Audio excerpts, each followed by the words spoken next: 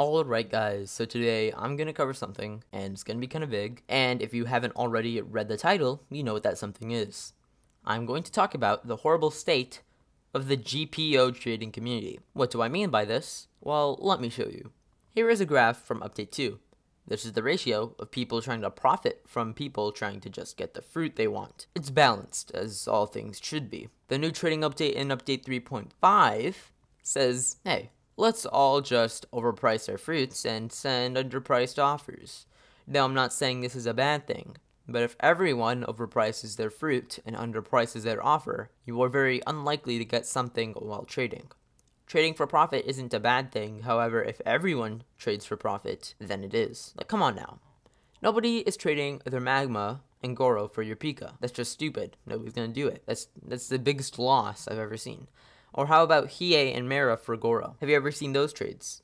It's just, it's stupid. Now, how would I fix this? Tell the trading server to get a hold of themselves and use their brain.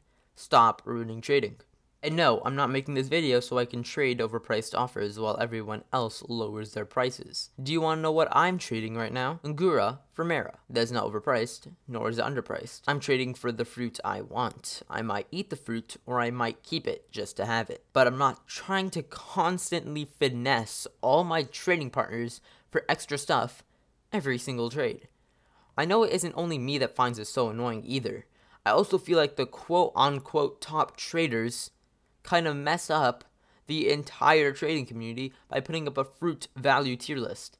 Because of that, everyone is taking their opinion as fact, and that's not their fault. That a bunch of five year olds took their opinion as fact. It's not their fault. I'm just saying it wasn't the wisest thing to do. I also got a comment recently saying overpricers keep the trading community stable, so STFU. How? How? Please elaborate if you are watching this video. Thank you. So do you guys agree or disagree with me? Tell me in the comments. I read every single one. Thank you and have a good day.